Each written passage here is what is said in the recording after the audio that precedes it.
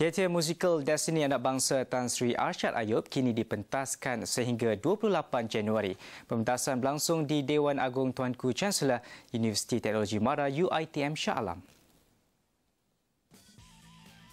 Pementasan empat hari itu mengisahkan suka duka kehidupan Arsyad, pengarah pertama Institut Teknologi Mara pada 1967 hingga 1975.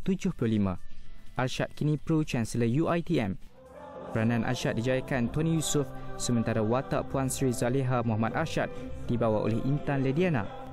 Teater itu turut melibatkan Isma Daniel dan Aziza Mahsan serta 70 pensyarah dan pelajar UITM.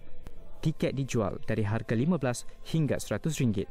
Hasil kutipan akan disalurkan ke tabung Destiny Anak Bangsa UITM bagi membantu pelajar yang kurang berkemampuan untuk menyambung pelajaran di luar negara.